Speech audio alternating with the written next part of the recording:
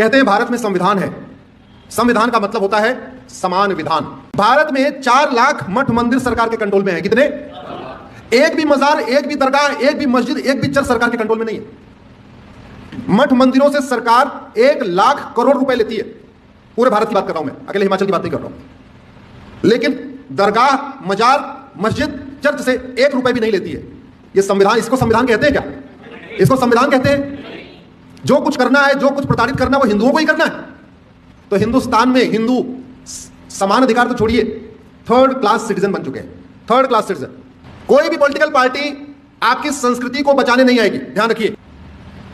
मजहबी उन्माद की आग लगेगी तो सबसे पहले लोग अपना अपना व्यवस्था करके भागते हैं। कश्मीर में पॉलिटिकल पार्टियाँ थी कि नहीं थी? नरसंहार हुआ, कोई बचाने आया? बंगाल में कुछ दिन इलेक्शन के बाद पलायन हुआ, कोई बचाने आया? हमारे मठ मंदिरों को पैसा लिया जा रहा है और उससे धर्मांतरण कराया जा रहा है। हनुमान जयंती पे पाकिस्तान में रामनवमी की शोभा यात्रा निकालने के लिए पुलिस प्रोटेक्शन की ज़रूरत पड़े बात समझ जाती है।